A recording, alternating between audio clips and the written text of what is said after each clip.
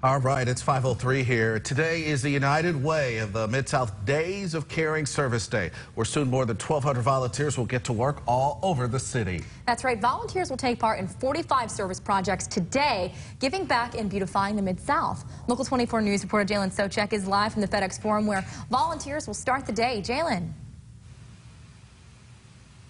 Yeah, Kelsey and John, this is the biggest volunteer event of the year for the United Way of the Mid-South chapter all day over Shelby and DeSoto counties. Volunteers will be working with area nonprofits, working with neighborhoods that are in need. The Mid-South chapter estimates when they did this last year, the economic impact alone was more than $260,000 of work done charitably. Their goal is to surpass that in the 28th year of doing this. They'll be doing a lot of upkeep work today. Area nonprofits, they can sometimes struggle to keep up with painting and yard work, so this helps those groups focus on the work they do.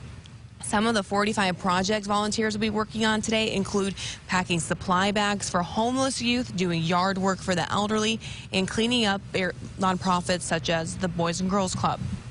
Not only does it plug individuals into the nonprofit community, but it really re-engages them into the city. As we progress and grow as a Mid-South, we want to make sure that everyone is pouring into and helping support those who are in need.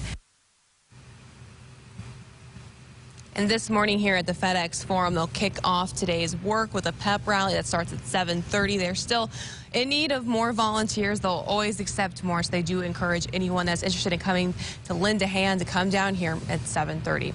Reporting live in downtown Memphis, Jalen Socek. Good day, Memphis.